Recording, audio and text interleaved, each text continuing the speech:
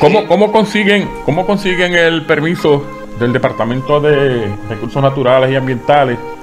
¿Cómo hacen el acercamiento al departamento para que, como tú nos dices, que están endosados ya por ese departamento? ¿Cómo lo logran? En el 2012 estábamos cazando en Cabo Rojo y llegó una patrulla pues, del Departamento de Recursos Naturales y nos, detuvieron. Y yo le dije, y nosotros no teníamos licencia ni nada, eso todavía no había existido. Dijeron ellos y nosotros le dijimos, bueno, nosotros estamos cazando iguanas nada más, no estamos cazando ninguna ave, porque nosotros no tiramos las aves, al contrario. Estamos defendiendo la, la, fauna. La fauna. Entonces, los guardias, bueno, chequearon los rifles que estuvieran desarmados, estaban desarmados, porque son de perdigones todos, son rifles neumáticos. Y porque no cazamos iguana con pólvora, no se puede. Y entonces ellos llamaron a la oficina general y nos hicieron hacer una licencia. Una, esa licencia no existía, la hicieron especial para ustedes, ¿no? Ah, y empezó todo. Oh. Ahí empezó a, para nosotros pagar 25 pesos al año para tener la cacería todo el año igual. Ah, ok, muy bien, muy bien. Esa, es como te pregunto, esa, esa tipo de licencia no existía, ustedes, esa se crea para ustedes especialmente. Ajá, al ellos detenernos, pues como no estamos cazando con rifles neumáticos, ellos lo vieron bien, que es una plaga, que estamos haciendo un trabajo bueno, entonces crearon una licencia. Okay. Entonces, pues está un oficial de la policía, que ya ahora retirado, se llama Milton Concesión, que él nos da la licencia para tener, para saber cómo usar las armas neumáticas. A ver, todo el que va a cazar iguana, tú tienes que coger un examen primero, cómo utilizar el arma neumática para que no tenga ningún accidente. Okay. Ese es Milton Concesión que da esa clase. Cuando te dan los diplomas, entonces,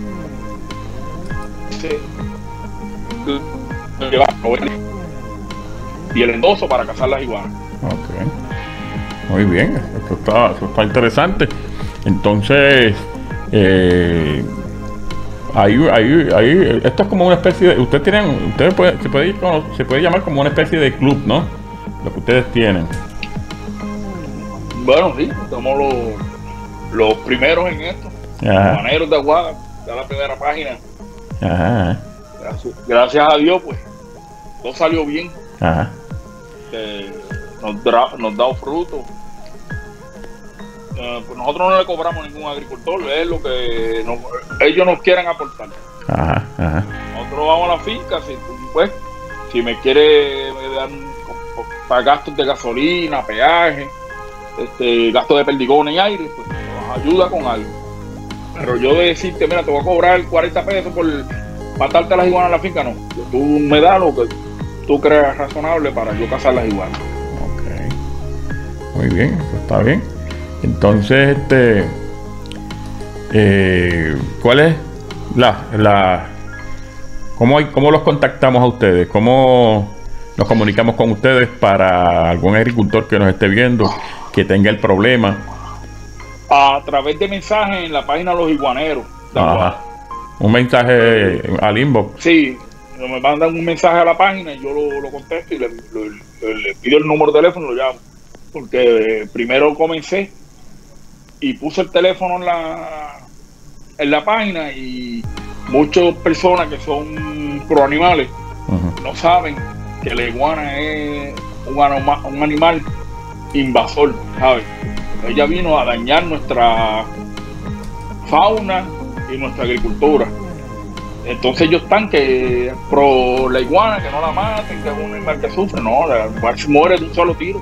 Ajá. Y ese animal no es como de Puerto Rico y ahora mismo ese animal coge los huevos de la turca negra, reinita, todito de los pichones, de las aves y ellos se los comen. Ok. Y, evitan que otras, que otras especies o ponen peligro de extinción a otras especies.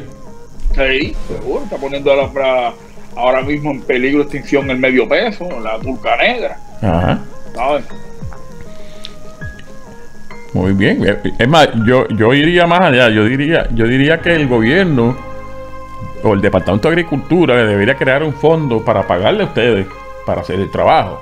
Eso es lo que yo pienso, ¿no? Porque es, encomiable el trabajo que ustedes hacen. pero todos estamos haciendo ahí para de lucro ahí, para ayudar a los agricultores a que echen para adelante, porque un agricultor tiene que estar comprando la semilla, pagarle a sus empleados. Por ese lado yo lo veo. Pagarle a sus empleados. Y viene un animal así, que come todo la, el cosecho. ¿Qué ganancia puede tener un agricultor? Correcto. Ninguna, hay que ayudarlo. Y la única forma de ayudar a un agricultor y es matando a la iguana. Con el auspicio de Taller Caraballo 222-4120 en Yauco. La nueva Reina Bakery 25 de julio 437-0244. El desvío número 1 en Yauco 856-2215. Café Bakery en Yauco 856-8269. El desvío 2 en Lajas 827-8422. M&M Autoservice en Yauco 267-3136 y Gemelos Autopark 913-0000.